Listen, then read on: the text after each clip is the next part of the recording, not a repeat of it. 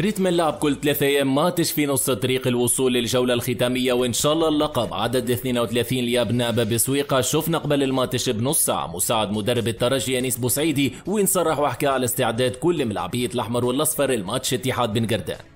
وبسؤال مراسل قناة التاسعة بخصوص أهمية النقاط الثلاثة اليوم قال بالطبيعة المقابلات الكل مهمة العناصر الكل عندنا فيهم ثقة ثم مقابلات متالية كيف كيف؟ عمل الإصابات صبر بوغرين من جهة كل ماتش وحقيقته مركزين إن شاء الله والانتصار ضد فريق محترم واللي فيه لاعبين عندهم إمكانيات طيبة. وكما سأل مراسل قناة التاسعة على ضغط جماهير الأحمر والأصفر والمطالبة بتحسين الأداء. انيس بوسعيدي صرح وقال بالطبيعة جمهور الترجي ديما يحب الانتصار والإقناع والأداء عنده الحق يعرف مليح إمكانيات الملاعبية.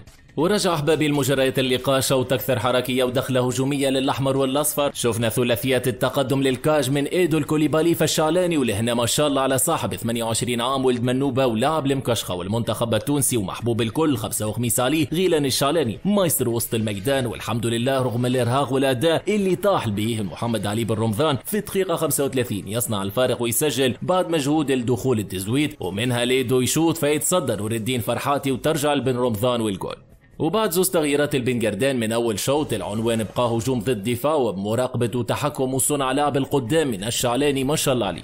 بن رمضان في ثالث أهدافه في مرحلة التتويج ولهنا راضي رتح الراجل حتى شوط واخر حساب بقية الجولات وبخصوص ماتش اليوم وكواليس ومجموعات محبي الترجي تنسحب من الفراش خلال مباراة اتحاد بن قردان حيث قامت مجموعات محبي الترجي اليوم بالانسحاب من مدارج الفراش بملعب حماد العقربي برادس خلال مباراة الفريق لحساب منافسات الجولة الخامسة. وتأتي هذه الخطوة تضامنا مع أحد محبي الفريق التي تم إيقافه في وقت سابق.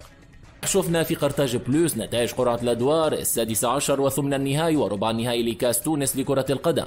المقابلات اللي يهمونا المقابلة عدد تسعة. زيتون الشماخ بجرجيس قدام الترجي التونسي وهو المضيف في الدور السادس عشر. في قرعة الدور ثمن النهائي إن شاء الله المقابلة عدد 20 ستجمع بين الفائز في المباراة عدد 8 مع الفائز في المباراة عدد 9 يعني الترجي بعد الفوز إن شاء الله في الدور 16 تلاقي في ثمن النهائي. إما شبيبة ماجر بالعباس وإلا هلال مساكن. وفي مقابلات الدور ربع النهائي الفائز في المباراة عدد 20 مع الفائز في المباراة عدد 17